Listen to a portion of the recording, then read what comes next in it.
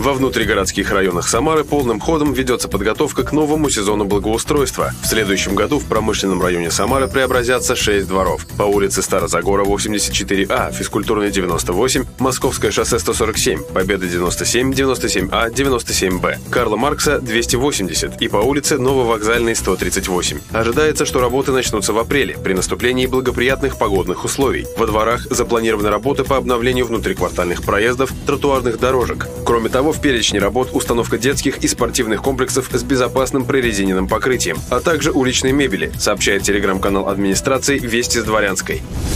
23 декабря в Самаре будет проводиться распределение свободных мест в дошкольных образовательных учреждениях на 2022-2023 учебный год. Для успешного проведения процедуры Департамент образования администрации Самары рекомендует родителям проверить данные, указанные в заявлении на портале образовательных услуг. В случае обнаружения в заявлении неточностей и утративших силу сведений необходимо обратиться в МФЦ для внесения в заявление необходимых изменений. Распределение свободных мест проводится в автоматизированном порядке, а предоставление места для ребенка в дошкольном учреждении родителям сообщат специалисты в соответствии с указанными в заявлении контактными данными, пишет телеграм-канал Департамента образования Самары.